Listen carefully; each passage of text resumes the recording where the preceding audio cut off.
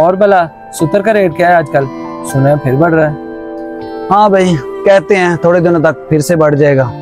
बस ऐसे ही चलता रहता है कभी कम हो जाता है कभी बढ़ जाता है। तू बता तेरा काम कर कैसा जा रहा है? शुक्र अल्लाह पाक का काम कार ठीक है। और बीवी बच्चे कैसे हैं?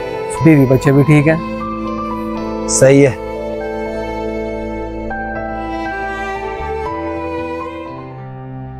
तुमने इतनी देर कहाँ लगाई? तुम्हें जितना जल्दी बोलो उतनी लेट करते हो। चलो जल्दी लाओ। अरे ये तो तेरा भाई नहीं है। हाँ यार।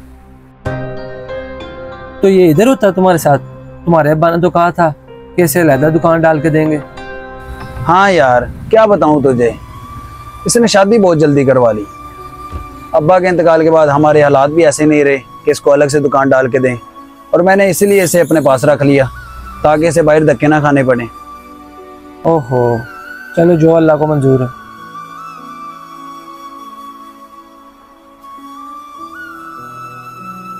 अच्छा यार नाश्ता तो शुरू कर।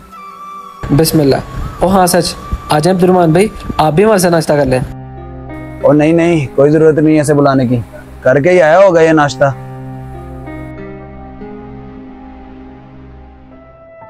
अच्छा यार अगले हफ़्ते बकरा ईद है इधर तो मैं सोच रहा था कि कल जाके बैल ले आऊँ।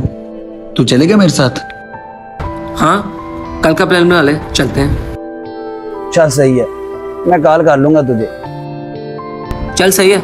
मैं चलता हूँ फिर। बहुत देर हो चुकी। बस यार और खा ले तुम्हारे लिए मंगवाया। नहीं नहीं यार मैं लेट हो रहा हूँ।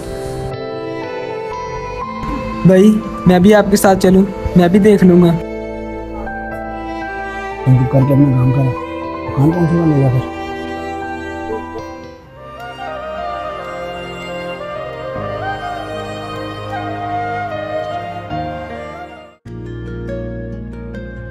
ये लो पापा। पापा ईद आ रही है हमने कब बकरा लेना है? आ, हाँ बेटा बकरा नहीं हम बैल लेकर आएँगे।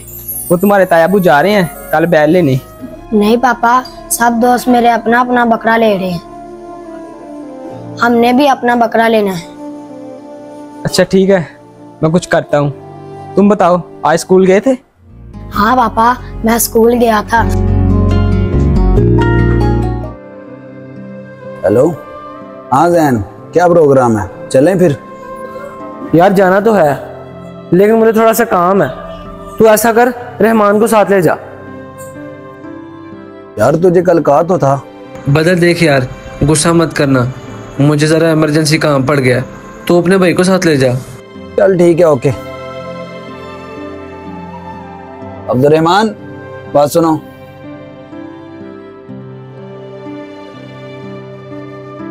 जी भाई। यार तुम कल कह रहे थे कि तुम भी मेरे साथ चलोगे बैल लेने। तो चलें फिर? हाँ भाई चलते हैं। मगर वो जैन भाई नहीं आएँगे?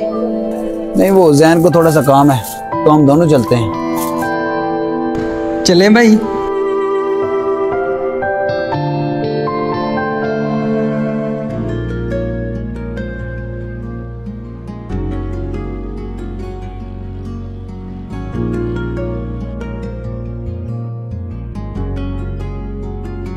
पापा ईद आ रही है हमने कब बकरा लेना है? पापा हमारे दोस्त ने सबने अपना अपना बकरा लिया है हम भी अपना बकरा लेंगे। क्या हो भाई? किस सोच में बढ़ गया? और कुछ नहीं भाई। मैं कह रहा था मैंने भी बीस हज़ार ईद के लिए जोड़े हैं। और अगर बीस हज़ार आप दे देंगे तो मैं भी कुर्बानी के लिए बकरा ले लूँगा। हम भी कुर्बानी कर लेंगे। ओ यार अभी तो यहाँ पे पहुँचे हैं। तूने आते ही अपना रोना डाल दिया तुझे पता तो है काम के हालात कैसे हैं। तो फिर जानबूझ के ये हरकतें करता है। देख भाई ये जो हम जानवर ले रहे हैं ये भी तो अपना ही है। ये कोई और थोड़ी ले रहा है। तेरा भाई ले रहा है। चल।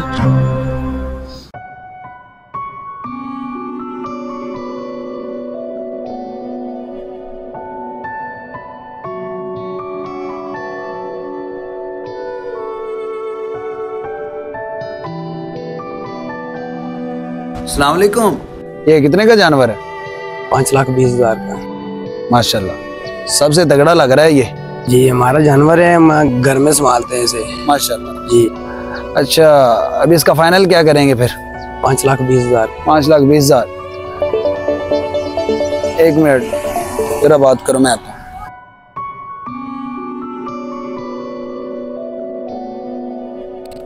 हाँ मैं पहुँच गया था मंडी। हाँ हाँ अब्दुलरहमान मेरे साथ ही है। क्या? पचास हज़ार रुपये चाहिए?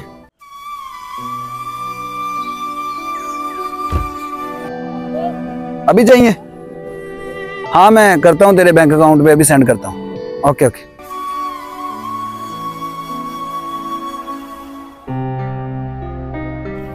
जी भाई वो काम नहीं कर रहा। आप बात कर लें उससे। चल ठीक है यार जितने कह रहा है उतने में डन करो। देने वाली बात करो। माशाल्लाह बहुत प्यारा जानवर है। दस बीस हज़ार से क्या फ़र्क पड़ना है?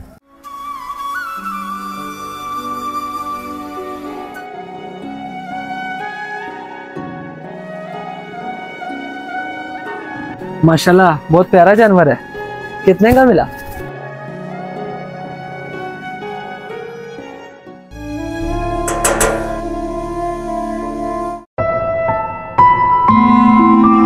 ये क्या पापा, आप बकरा नहीं लेकर आए?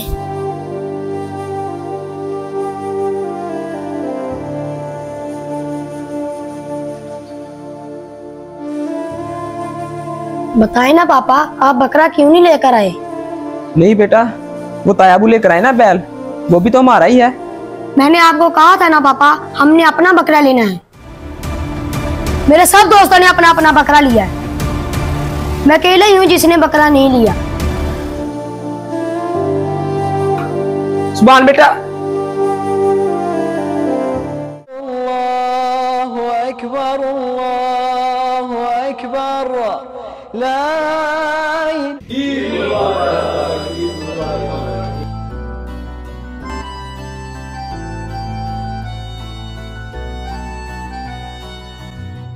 मेरा बेटा नाराज़ है मुझसे।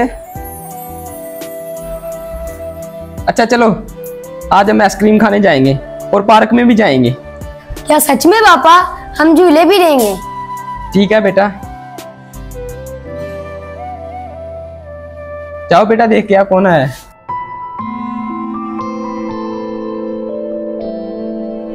अरे तयाबू अंदर आ जाए। नहीं नहीं बेटा ये लो ये गोश्त अंदर ले जाओ।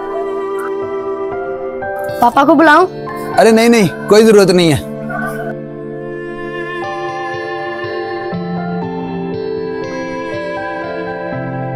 ये लो पापा।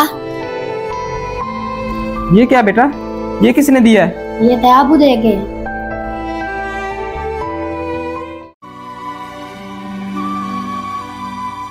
पचास हज़ार चाहिए। अभी तो यहाँ पहुँचे हैं और तूने आते ही अपना रोना डाल दिया है। दस बीस हज़ार से क्या फ़र्क पड़ना है?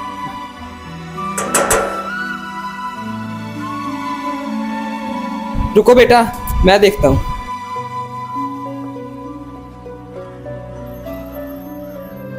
जी अस्सलाम वालेकुम। ईद मुबारक। वालेकुम सलाम खैर मुबारक। ये लें गोश्त। आए पानी तो पीते जाएँ? नहीं नहीं बहुत बहुत शुक्रिया।